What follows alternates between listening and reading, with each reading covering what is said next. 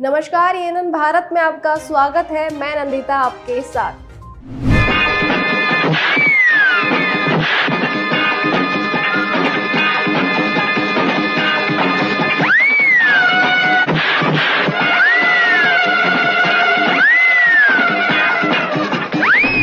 आपने अमिताभ की मूवी का ये सीन देखा, जिसमें सब लोग एक लाल डायरी के लिए छीना झपटी कर रहे हैं।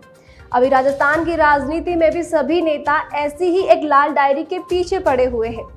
इन दिनों राजस्थान में हर तरफ़ सिर्फ़ और सिर्फ़ लाल डायरी की ही चर्चा हो रही है। और इस लाल डायरी को चर्चा में लाने वाले नेता है राजेंद्र सिंह गुडा, जो कभी मुख्यमंत्री अशोक गहलोत के करीबी हुआ करते थे। गुडा, इस लाल डायरी का राज सबको बताने की धमकी भी मुख्यमंत्री अशोक गहलोत और उनके करीबी नेताओं को बार बार दे रहे हैं। हालाँकि इन सब के चलते राजेंद्र सिंह गुड्डा को मंत्री पद से बर्खास्त कर दिया गया है, जिसके बाद से राजेंद्र सिंह गुड्डा ने अपनी ही कांग्रेस सरकार के खिलाफ मोर्चा खोल दिया है। मीडिया के सामने भी गुड्डा रोते रोते उस लाल डायरी का काफ़ी ज़िक्र कर रहे हैं। विधानसभा चुनाव एकदम नज़दीक है। चुनावी साल में कांग्रेस में इस लाल डायरी की वजह से मची अफरा तफरी से बीजेपी को काफ़ी मज़ा आ रहा है। बीजेपी नेताओं ने तो विधानसभा भवन के बाहर एक बड़ी सी लाल डायरी भी रख दी है। धीरज गुर्जर के बयान से अब इस लाल डायरी के खेल में एक और नया रोमांचक मोड आ गया है।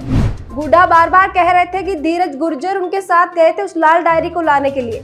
लेकिन धीरज गुर्जर ने साफ़ साफ़ बोल दिया कि ना मैं उस डायरी को लाने गया था, ना ही मुझे किसी लाल डायरी का कुछ पता है।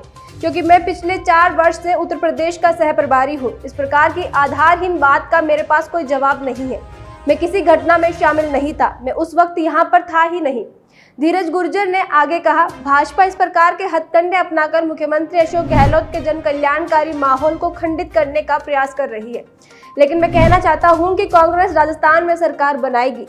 वही विपक्षी दल भाजपा लगातार एक ही सवाल उठा रहा है कि गहलोत सरकार लाल डायरी से इतना घबरा क्यों रही है? इस पर कांग्रेस के नेताओं का कहना है कि यदि ऐसा कोई राज है तो राजेंद्र सिंह गुड्डा मीडिया के सामने क्यों नहीं दिखा रहे उस लाल डायरी को?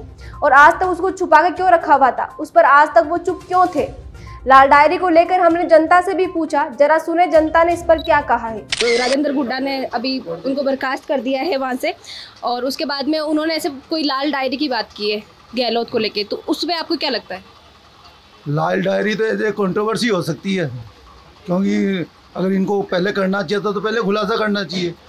आपको बर्खास्त कर दिया जो भी मतलब विधानसभा में, उसके बाद में आप लाल डायरी लेकर आ रहे हो। तो आपको क्या औचित्य है उसका? अगर आप सही ईमानदार आदमी हैं तो पहले करना चाहिए आपको। अब आपको बर्खास्त कर दिया, उसके बाद में आप कहते ये चोर है, वो चोर है। उसका कोई मतलब ही नहीं। मैं भी बोल दूँ, मेरे पास नीली डायरी है, सबके नाम है इनके। जैसा कि आपने सुना, लोग बोल रहे हैं कि चुनावी साल को देखते हुए कांग्रेस के खिलाफ ऐसा माहौल बनाया जा रहा है। लाल डायरी के इस मुद्दे पर कई लोग राजेंद्र सिंह गुड्डा को बुरा भला कह रहे हैं तो कई लोग उनको रोता बिलकता देख सहानुभूति दिखा रहे हैं। अब बीजेपी के नेता भी चुनाव को देखते हुए राजेंद्र सिंह गुड्डा को बेचारा साबित करने पर लगे हुए हैं और गुड्डा के साथ होने का दावा कर रहे हैं। और अमिताभ की मूवी के इस सीन को एडिट करके ट्वीट भी कर रहे हैं। केंद्रीय नेता गजेंद्र सिंह शेखावत ने एक वीडियो ट्वीट कर लिखा है, किससे लाल डायरी के? ये डायरी नहीं गहलोत सरकार के भ्रष्टाचार की किताब है। क्या लिखा है इसमें? इसमें लिखा है कि गुड़ाब गहलोत के सब राज उजागर करने वाला है। पायलट जी इसमें गहलोत और उनके बेटे के सभी घोटालों का राज है। गहलोत सरकार की लाल डायरी। ट्वीट में दिखाए इस वीडियो में सचिन का नाम लेकर बीजेपी नेता ये दिखाने की कोशिश कर रहे हैं। कि ये जो लाल डायरी का किस्सा, जिसको गुडा मुख्यमंत्री अशोक गहलोत और उनके करीबी नेताओं से जुड़े होने का दावा कर रहे हैं। उससे सचिन भी खुश है, क्योंकि बीजेपी को गहलोत और पायलट का समझौता रास नहीं आ रहा है। इसलिए वो ज़बरदस्ती गुड्डा के साथ सचिन को जोड़ने का और उनको इस मामले में घसीटने का प्रयास कर रहे हैं, ताकि कांग्रेस फिर से दो गुट में बढ़ जाए और चुनाव में फ़ायदा बीजेपी का हो। लाल डायरी पर आपका क्या कहना है, हमें कमेंट बॉक्स में ज़रूर बताइए। वीडियो अच्छा लगा हो तो इसे लाइक करें, अपने दोस्तों के साथ ज़्यादा से ज़्यादा शेयर करें और हमारे चैनल को सब्सक्राइब ज़रूर करें और साथ के साथ बेल आइकन दबाना नहीं भूलें, ताकि हमारी सारी खबरें आप तक तुरंत पहुँच सके। नमस्कार।